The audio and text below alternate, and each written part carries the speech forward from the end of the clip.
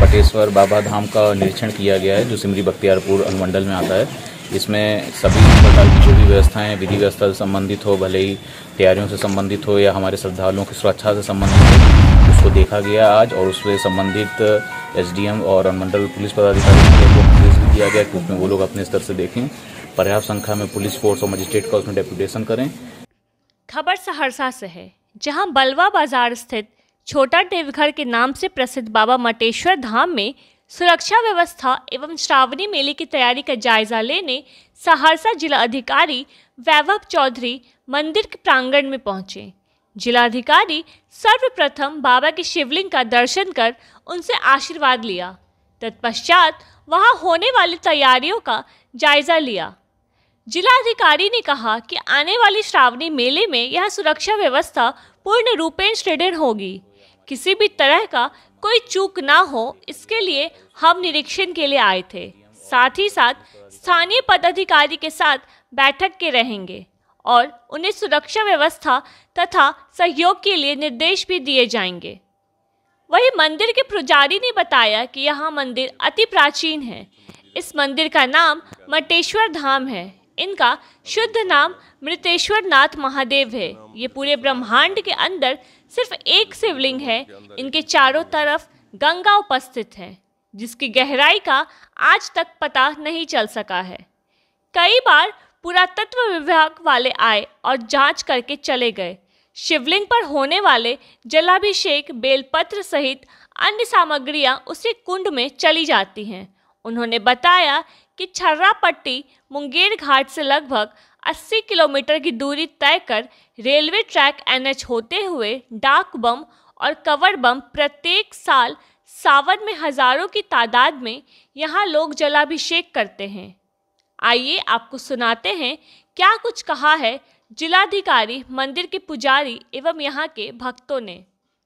जी, आज बटेश्वर बाबा धाम का निरीक्षण किया गया है, जो सिमरी बख्तियारपुर अनुमंडल में आता है। इसमें सभी प्रकार की जो भी व्यवस्थाएँ, विधि व्यवस्था से संबंधित हो, भले ही तैयारियों से संबंधित हो या हमारे श्रद्धालुओं की सुरक्षा से संबंधित हो, उसको देखा गया आज और उससे संबंधित एसडीएम और अनुमंडल पुलिस पदाधिकारी महोदय को निर्देश भी दिया गया कि उसमें वो लोग अपने स्तर से देखें। पर्याप्त संख्या में पुलिस फोर्स और मजिस्ट्रेट का उसमें डेप्यूटेशन करें। ताकि किसी भी प्रकार की अनहोनी या ऐसी नेगेटिव घटना ना हो सके और हम लोग का पूरा प्रयत्न रहेगा कि जो भी हमारे श्रद्धालु हैं, उनको किसी प्रकार की ऐसी दिक्कत ना हो या जो भी कार्य हो तो सभी एकदम सुचारू रूप से हो सके हम लोग के यहाँ। एक समस्या आ रहा है कि सिमरी बख्तियारपुर से ही लोग दोनों साइड में खड़े होते हैं कांवरिया के सेवा के लिए और उसमें कई असामाजिक तत्व भी लहरिया कट बाइक वगैरह भी चलता रहता है। तो उसके लिए सर, उस पर जरा फोकस किया जाए। ये उससे काफ़ी श्रद्धालु को परेशानी होती है। इस संबंध में कुछ तैयारी की गई हो बिल्कुल इसका आपके द्वारा संज्ञान में दिया गया इस चीज़ को तो इसका हम लोग भी हमारे एसडीएम को और एसडीपीओ साहब को बोलेंगे कि वो लोग भी इस विषय में देखें और नियमित रूप से चेकिंग वहाँ पर करें ताकि इस प्रकार की जो सामाजिक तत्व अगर कुछ बदमाशी करने का सोचें तो उनके मनसूबों पर हम लोग विफल कर सकें और एकदम शांतिपूर्ण ढंग से सभी हमारी माताओं बहनों के साथ में या हमारे पुरुष भाइयों के साथ में व्यवहार हो और किसी प्रकार की दिक्कत किसी के साथ ना हो। ये प्राचीन काल मंदिर है। यह सिद्ध पीठ मंदिर है। इनका नाम मटेश्वर धाम है। अवरण शब्द में इनका शुद्ध नाम मृतेश्वर नाथ महादेव है।